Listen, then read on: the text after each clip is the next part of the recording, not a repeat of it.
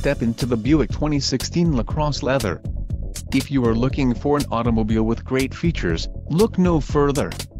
This vehicle comes with a reliable six-cylinder engine, connected to a smooth shifting automatic transmission.